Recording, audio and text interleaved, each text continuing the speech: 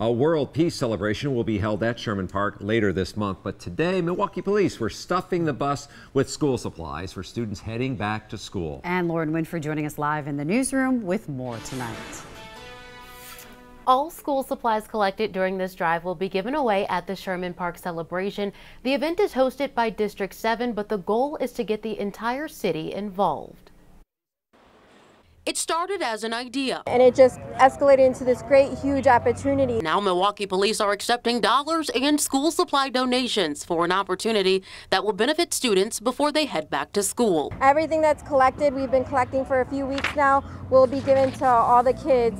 So they'll have an abundance of backpacks, folders, paper, um, back to school, everything back to school. But the donations are just one piece of the puzzle geared toward bringing the city of Milwaukee together for a World Peace celebration at Sherman Park. Due to the riots last year and everything, we wanted to do something special.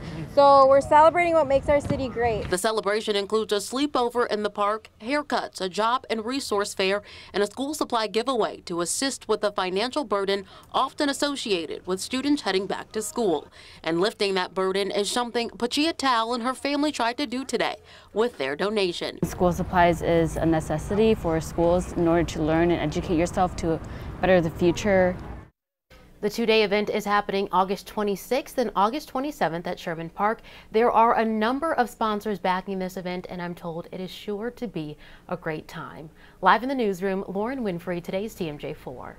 All right, Lauren, thanks. If you are looking for how to save money on back to school supplies or clothes, we have a lot of resources on our website. Head to tmj4.com slash back to school for more information.